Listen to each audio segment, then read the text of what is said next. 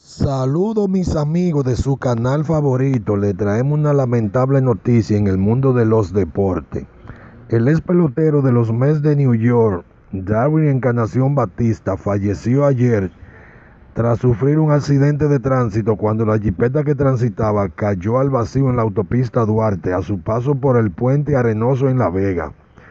Encarnación Batista, de 21 años, fue rescatado por una unidad del 911, la cual lo trasladó al hospital Luis Manuel Morillo King de La Vega, donde murió.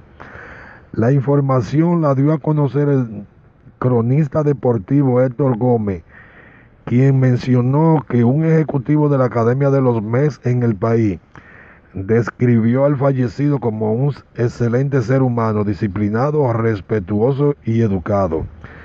Darwin Encarnación Batista era oriundo de Juan Santiago, provincia de Elías Piña.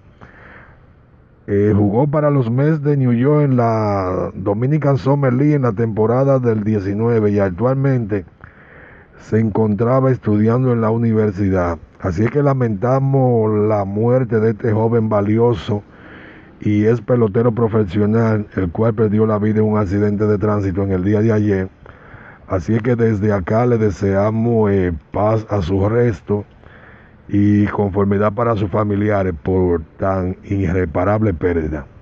Hasta la próxima, mis amigos.